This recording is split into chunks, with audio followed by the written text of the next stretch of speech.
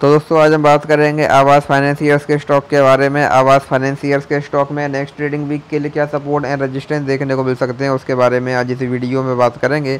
हम अगर यहाँ पर स्टॉक की बात करें तो हम देखेंगे जो ये स्टॉक है, ये हमको पहले यहाँ पर लगातार के लिए डाउन ट्रेड में देखने को मिल रहा था। पहले हमको स्टॉक में लोवर लो लोवर हाई वाला पैटर्न यहाँ पर देखने को मिल रहा था, लेकिन फिर स्टॉक ने यहाँ पर सपोर्ट लिया, जिसके बाद से अभी अगेन हमको स्टॉक में तेज़ी देखने को मिल रही है।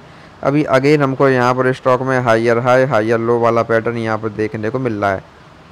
आज भी हमको स्टॉक में zero point five six percent की यहाँ पर तेज़ी देखने को मिली है। तो यहाँ से भी हम स्टॉक में बात करें, यहाँ से अगर स्टॉक में ये तेज़ी कंटिन्यू रहती है तो यहाँ से भी और तेज़ी की कंडीशन में हमारे पास यहाँ पर स्टॉक में सेवनटीन हंड्रेड का पहला यहाँ पर रजिस्टेंस देखने को मिलेगा। अगर स्टॉक इसको भी यहाँ ब्रेक करता है देन यहाँ से हमको स्टॉक है वन एट वन सेवन और अगर स्टॉक ने इसको भी यहाँ ब्रेक किया देन यहाँ से हमको स्टॉक में अगेन एक बड़ी तेज़ी, बड़ी बाइंग यहाँ पर देखने को मिल सकती है।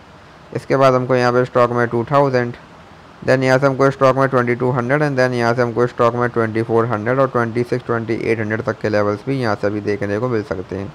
वही यहाँ से अब अगर स्टॉक में गिरावट आती है तो यहाँ से गिरावट की कंडीशंस में। हमारे पास यहाँ पर अभी स्टॉक में वन सिक्स वन फोर का पहला यहाँ पर सपोर्ट देखने को मिलेगा। अगर स्टॉक इसको भी यहाँ ब्रेक करता है देन यहाँ से हमको स्टॉक है वन फाइव थ्री फोर और वन फोर ज़ीरो टू तक के लेवल्स भी यहाँ पर देखने को मिल सकते हैं एज ए नेक्स्ट यहाँ पर सपोर्ट तो ये स्टॉक में कुछ इंपॉर्टेंट लेवल्स हैं, आप इन पर ध्यान दे सकते हैं। बाकी वीडियो में कोई बाय सेल होल्डिंग सलाह नहीं है। वीडियो केवल एजुकेशनल पर्पज़ के लिए। धन्यवाद।